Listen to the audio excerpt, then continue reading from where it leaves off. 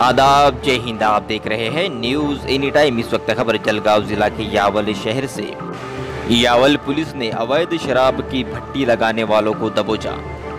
ये घटना यावल से करीब ही पिंपरी गाँव की है, जहाँ पर ये लोग भट्टी द्वारा नकली शराब बना रहे थे, जिनको पुलिस ने धर दबोचा। इसके बाद में पुलिस ने उन्हें पुलिस स्टेशन परिसर में उठक बैठक करवाई, उसके बाद आगे की कार्रवाई को अंजाम दिया गया। दारू बनाओगे क्या? नहीं। कोरोना की बीमारी चलती है तो इस बीमारी की वजह से गवर्नमेंट ने दारू बंद की है और पब्लिक अभी गाँव की दारू पे ज़्यादा टूट पड़ी है।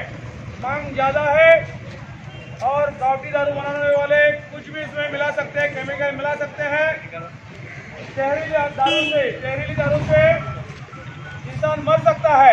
इसलिए हमने गाँव दारू बनाने वाले, ये जो पिंपरी वाले, पिंपरी पिंपरी के हैं, ये दारू बनाते रहते हैं, उनकी बच्चियाँ हैं।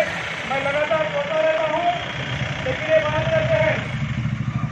चलो चलो इन्होंने माना नहीं है, इनके खिलाफ हमने एफ़ आई आर दर्ज की है, फिर भी इन्होंने भट्टिया चालू रखी है। इनके खिलाफ हमने एफ़ आई आर करके इनकी भट्टिया तोड़ी है।